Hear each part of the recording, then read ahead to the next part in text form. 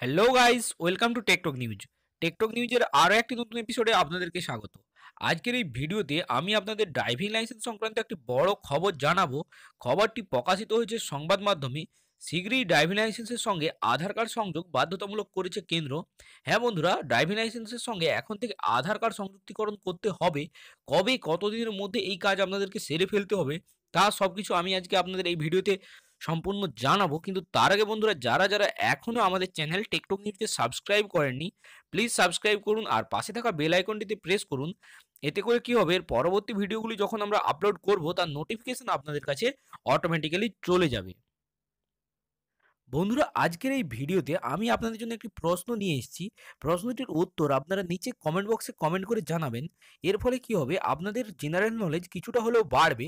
বন্ধুরা বর্তমান আরবিআই অর্থাৎ রিজার্ভ ব্যাঙ্ক অফ ইন্ডিয়া এর গভর্নরের নাম কি? বন্ধুরা, এই প্রশ্নের উত্তরটি আপনারা যদি জেনে থাকেন, তাহলে নিচে কমেন্ট বক্সে কমেন্ট করে জানান। চলুন তাহলে বন্ধুরা, আর দেরি না করে এখন আমরা খবরটি বিস্তারিতভাবে জেনে নিই। শীঘ্রই ড্রাইভিং লাইসেন্সের সঙ্গে আধার কার্ড সংযোগ বাধ্যতামূলক করছে কেন্দ্র। এমনটাই হেডলাইন্সে প্রকাশিত হয়েছে। বন্ধুরা, এখানে বলা হয়েছে, খুব শীঘ্রই ড্রাইভিং লাইসেন্সের সঙ্গে আধার কার্ড সংযোগ বাধ্যতামূলক করতে চলেছে কেন্দ্র সরকার। জানালেন কেন্দ্রীয় আইনমন্ত্রী রবিশঙ্কর প্রসাদ। এই পদক্ষেপের কারণ ব্যাখ্যা করতে গিয়ে তিনি বলেছেন, যে ব্যক্তি দুর্ঘটনা ঘটান, তিনি ঘটনাস্থল থেকে পালিয়ে নকল লাইসেন্স বের করে নিচ্ছেন। বর্তমানে এমনটাই হচ্ছে, এভাবে তিনি শাস্তির হাত থেকে বেঁচে যাচ্ছেন। তবে আধার সংযোগ হয়ে গেলে আপনি নাম বদলাতে পারলেও আপনার বায়োমেট্রিক্স অর্থাৎ ফিঙ্গারপ্রিন্ট চোখের রেটিনা এগুলি বদল করতে পারবেন না। কাজেই যখন নকল ড্রাইভিং লাইসেন্স তৈরি করতে যাবেন সিস্টেম বলে দেবে এই ব্যক্তি ইতিমধ্যেই লাইসেন্স রয়েছে, তাকে আর নতুন করে লাইসেন্স দেওয়া হবে না। এর ফলে নকল ড্রাইভিং লাইসেন্স তৈরি বন্ধ হবে।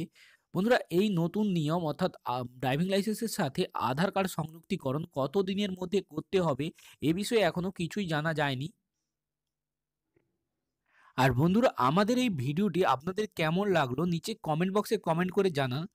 ভিডিওটি ভালো লাগলে লাইক করুন বন্ধুদের সাথে শেয়ার করুন আর আমাদের চ্যানেল টেকটক নিউজকে কিন্তু অবশ্যই সাবস্ক্রাইব করুন। এখনকার মতো এই পর্যন্ত। ভিডিওটি দেখার জন্য আপনাদেরকে অসংখ্য ধন্যবাদ।